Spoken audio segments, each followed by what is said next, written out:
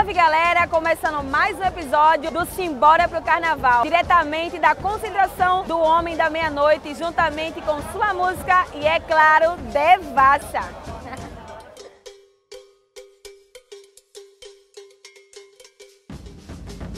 Eita galera, que o Carnaval de Olinda tá pegando fogo. Então nada melhor do que dar uma refrescadaça com Devassa. Esse é o carnaval mais tradicional de Pernambuco. E eu, Raíssa Dias, vim mostrar tudo de pertinho para vocês. Então vem-se embora junto comigo para esse carnaval.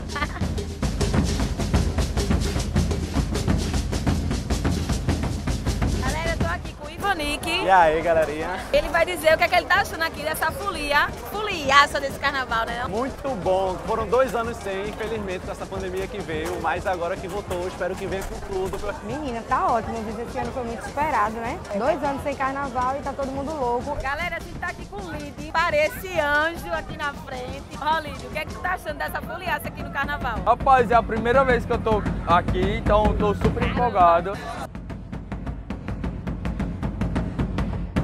Gente, eu tô aqui com o Levi, caracterizado de Homem da Meia-Noite. E eu vou perguntar pra ele o seguinte, né? O que é que você espera desse retorno do carnaval, esse retorno do Homem da Meia-Noite esse ano junto com todo mundo? Esse retorno do carnaval está sendo maravilhoso, né? Uma expectativa muito grande Sim. durante esse período que a gente ficou distante.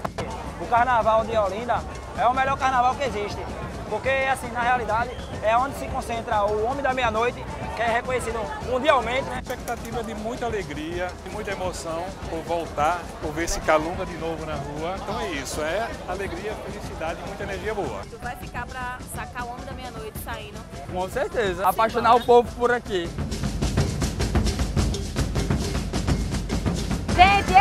Esse bloco exala tradição e animação e eu já estou preparada para virar madrugada nessa foliaça. Vamos embora comigo para esse carnaval?